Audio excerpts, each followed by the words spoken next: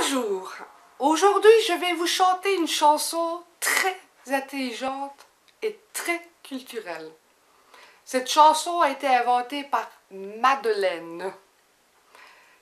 Petits oiseaux qui faisaient du caca, ta ta ta. Petits oiseaux du caca, ta ta ta.